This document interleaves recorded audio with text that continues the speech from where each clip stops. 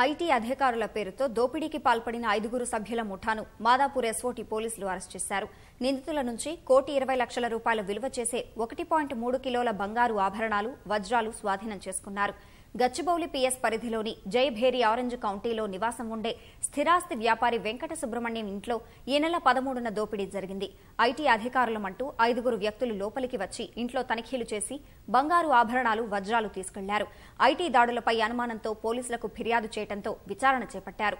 RC Puram railway station సమీపంలో ఐదుగురు నిందితులను అదుపులోకి తీసుకున్నారు.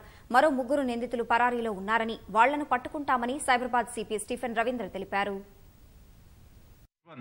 అరవింద్కి వెళ్ళి ఇల్లు కూడా రెక్కీ చేసి ఇల్లు చూపెడతాడు. చూపెట్టిన తర్వాత అరవింద్ మురళి శ్రీనివాస్ సాయిబాబా వెంకట్రావు శ్రీనివాస్ వీళ్ళందరూ పోయి మాస్క్స్ అండ్ గ్లౌస్ వేసుకుని వెళ్ళి ఇన్కమ్ ట్యాక్స్ ఆఫీసర్స్ అని ఒక ఐడి కార్డ్స్ తయారు చేసుకుని వీళ్ళు ఆ రోజు థర్టీన్త్ అట్ వన్ టెన్ పిఎంకి ఇంటికి పోయి సుబ్రహ్మణ్యం గారి వైఫ్ ఎవరైతే ఉన్నారో వాళ్ళని అక్కడ కూర్చోబెట్టి వాళ్ళ పిల్లల్ని కూడా కూర్చోబెట్టి వీళ్ళు ఎంటైర్ హౌస్ అంతా సెర్చ్ చేస్తారు. సుబ్రహ్మణ్యం గారి వైఫ్ పర్స్లోని ఒక కీస్ ఉంటాయి. ఆ కీ తీసుకుపోయి లాకర్ ఓపెన్ చేస్తే about one point two kgs of gold then also diamonds కూడా రికవర్ చేస్తారు. కొంచెం క్యాష్ కూడా దొరుకుతుంది. All worth about one crore and twenty lakhs ఇది ఈ పర్టికులర్ ఒఫెన్స్ చేసిన తర్వాత రిటర్న్ వెళ్ళే క్రమంలో మనకి వీళ్ళు ఆర్చిపురం రైల్వే స్టేషన్ దగ్గర మనకు